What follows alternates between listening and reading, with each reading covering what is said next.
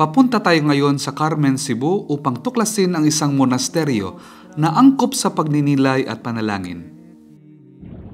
Nandito tayo ngayon sa St. Benedict's Monastery sa Carmen, Cebu. Ito ay monasteryo ng mga Benediktino dito sa Pilipinas. Ora at labora, dasal at gawa.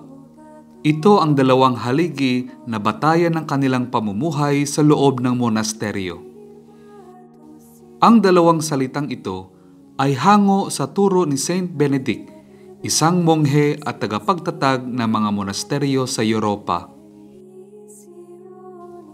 Ang Oratory of San Pedro Calungsod ay isang maliit na kapilya na angkop para sa personal na panalangin at pagninilay sa harap ng isang altar.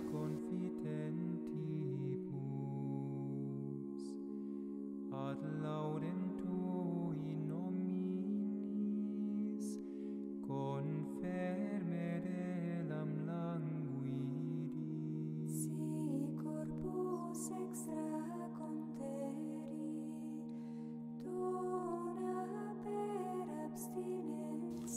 Ang Sacrospeko o tinatawag na Holy Grotto o Holy Cave ay replika ng orihinal na Sacrospeko sa Subiaco, Italy.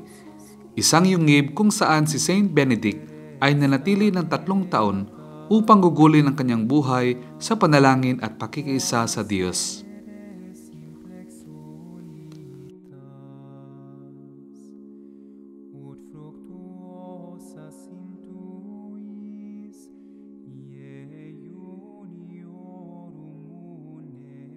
Ang dambana ng Our Lady of Manawag o ang Our Lady of Manawag Rosary Center ay isang kapilya kung saan makikita ang imahe ng Berheng Maria sa titulo na Our Lady of Manawag.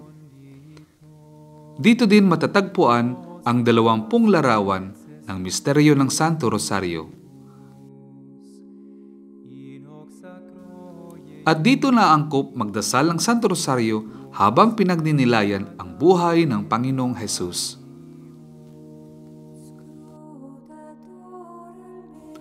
Ang mataas na hagdan ay isang puok na naghahalintulad sa pag-akyat sa langit.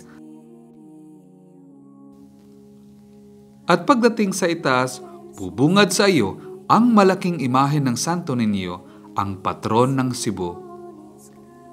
Ang Saint Benedict Monastery ay itinayo ng mga Silvestrine Benedictines o mas kilala sa tawag na Benedictines of the Silvestrine Congregation, isang sanga ng Benedictine Confederation na itinayo naman ni Saint Silvestre Gozzolini sa Italy.